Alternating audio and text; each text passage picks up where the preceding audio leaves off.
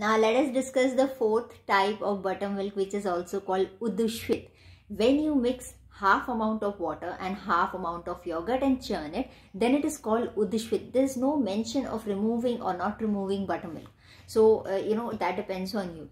Now this Uddhishvit has a very special health uh, property which is Amnashak. You know, Am is the metabolic toxins that are formed inside the body when the food is not digested properly. And this Am is basically it can uh, aggravate all kind of disorders. It can also cause multiple types of disorders. It can make your body vulnerable to all the problems. Yeah? So this uddhishvit helps to remove Am clear out the toxins from your body. And this is the beauty of it.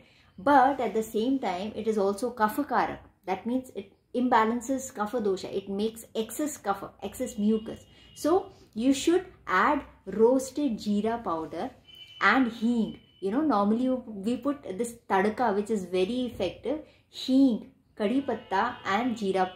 So this helps to balance the kapha dosha as well. Right? Uh,